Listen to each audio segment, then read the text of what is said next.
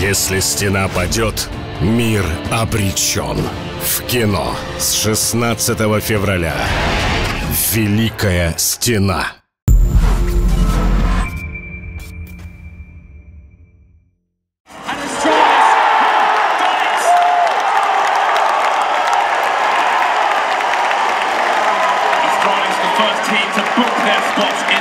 Semi-finals.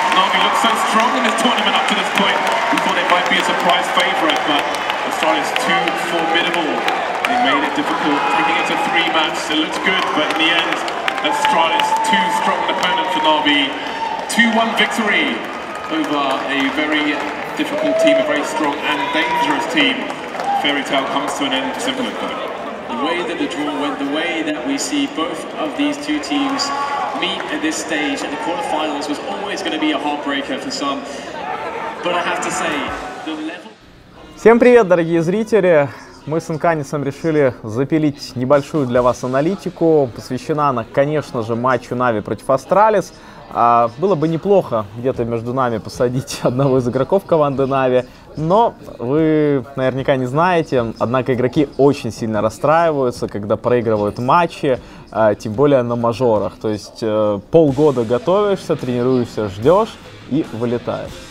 Ну, мы уже вот во время даже матча отмечали то, что Нави не были абсолютно на себя похожи. И даже вот сидели и э, ребята с тренировочного состава команды Нави говорили о том, что, в принципе, они не играют в свою игру вообще. То есть э, здесь какие-то факторы, ну, как я уже сказал, сыграли эмоций, э, сыграло также то, что все-таки Нави, кстати, с Астралис не тренировались. То есть вроде как ребята знают как облупленные друг друга, но чем-то, я думаю, Астралис все равно смогли удивить. Удивили они, кстати, меня лично э, своим подходом.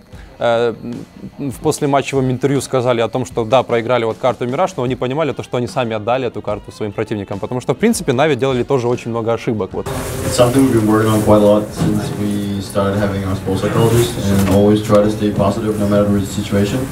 And especially also when it comes to losing maps or losing like stupid rounds, like we just try to tell like that stuff just happens. I mean, I, um, in general, we're just try and stay positive and try and pump each other up. And every time we lose a map, we try and fist pump each other and like high five each other because like we fought what we, what we could we just played our hearts out. We're gonna win. Um, and it keeps us motivated and very focused about the next map. So staying positive in our minds and having a, like a great team spirit, that's what has На самом деле Нави тоже приехали довольно большой делегацией. Э, у них есть аналитик, у них есть менеджер, два этих человека сидело в зале, плюс тренер за спиной. А Я знаю, что Жека Юджин, он э, очень увлекается психологией и постоянно ребятам рассказывает о ну, каких-то вещах, э, таких э, не связанных с игрой, но которые косвенно могут, конечно же, повлиять. Ну и плюс, э, опять же, твой товарищ Андрей Энди, он прекрасный аналитик, у него обширные знания в Counter-Strike, но при этом я бы, например, все-таки отметил какие-то вот такие моменты тактические, которые мне непонятны. Например, был раунд, когда Ну, начнем с того, что остались за террористов постоянно контролировали центр. А, То есть никакой борьбы Нави там не навязывали. Окей, это в принципе а, допустимо, в последнее время так играют многие. Но то, что астралицы заходили дальше иногда через коннектор, а, там порой вообще чувак сидел уже на голове ТР и мог там подловить Ваню Эдварда, а иногда даже там был раунд, по-моему, это тот же, когда он прошел под лавочку прям, и э, у Нави два человека стояло на э, КТ спауне, то есть они полностью отдали вообще хелпу, там была вообще засада у них 3 на Б, и э, два чувака были на э, КТ спауне, то есть вообще полный контроль карты Нави отдали. И, ну, откуда такие тактики, э, какие-то такие экспериментальные, я не знаю. На Дасте э, вот, э, с первых же раундов они показали то, что все-таки вот не смогли как-то, э, ты знаешь, встряхнуться и с э, новым, обновленным каким-то э, мышлением подойти к третьей карте, потому что, в принципе, снова у нас берется какой-то раунд, отдается какой-то обидный, Астралис хорошо начинают, и, в принципе, вот так вот пошли-пошли снежным комом, и у нас, по сути, повторяется начало карты The Overpass, которые, в принципе, Нави смогли переломить. Там был раунд от Дениса Костина, который пожал верхнюю тэшку, и с P250 сделал ключевые минусы, которые позволили э, вернуться в защите на карте Dust 2. И здесь уже вроде как первая сторона была хорошая, вторая пистолетка берется, и тут на тебе пистолетный форс берут Астралис и переворачивают экономику с ног на голову, и здесь уже тяжело, тяжело вернуться. Как раз таки в таких моментах и показывается ментальность команды, которая и так хромала, а тут еще обиднейший раунд, который проигрывается, который сводит на нет абсолютно все старания. Ну, я бы на самом деле не согласился, что вот этот раунд э,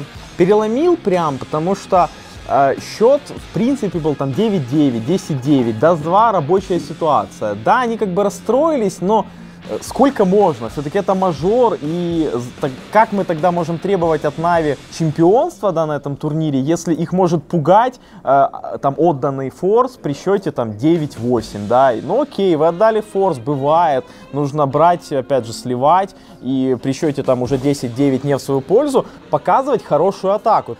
А, но опять же, атака у Нави э, последние там 4 раунда, она просто на стрельбу ходили. А предпоследний раунд вообще меня удивил. То есть команда не показала ну, какую-то волю к победе, то есть они просто по рендо, ну, на мясо побежали, там, с УМПшкой, кто-то туда пошел, кто-то туда пошел, такой free for all начался.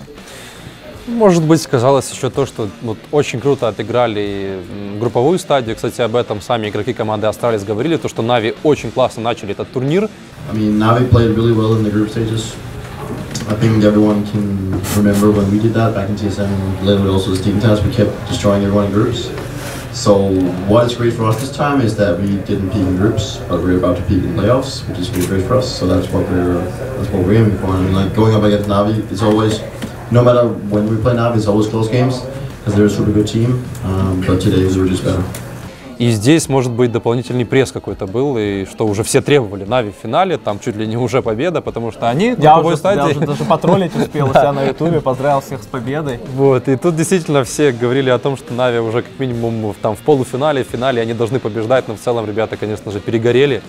И тут уже можно рассуждать много о том, что какие моменты они там делали, какие раунды. Понятно, что играли просто не в свою игру. То есть, видимо, что тренировались, кстати, хочу заметить, что есть твит от Сизда, mm-hmm. где он написал, что игра была проиграна по большому э, счету из-за него, потому что он а, не мог совладать с собой. То есть, опять же, а, Сизда, ну, наверное, ни для кого не секрет, вынужденно стал капитаном, когда Вальф изменили правила. И, э, собственно, так за полгода и не удалось э, ему в этой роли э, хорошо себя почувствовать, потому что раньше играл очень круто, и по статистике было все замечательно. Вот как раз-таки по поводу лидеров, Глейв в послематчевом интервью сказал о том, что он с командой три месяца всего, но уже есть ощутительный, ощущаемый результат.